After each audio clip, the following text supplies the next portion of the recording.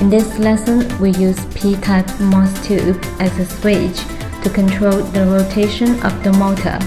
First, let's do the wire connection according to the connection diagram. Plug the motor and MOS tube into the breadboard.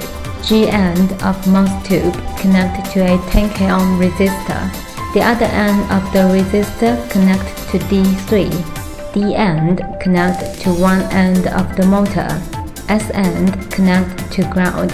Lead out the other end of the motor for convenience of wiring.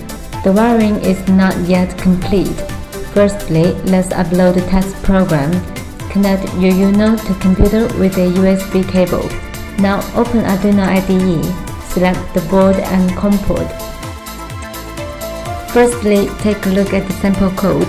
You can see no libraries needed. Then directly copy the program from the supporting file. The pin definition in the program is according to the circuit connection.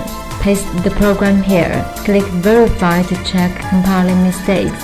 If codes are correct, click Upload to upload the program to the board. After uploading is done, connect the 9 volt battery. Positive end connect to the lead out pin of the motor. Lead out mainboard GND connect negative end to GND row.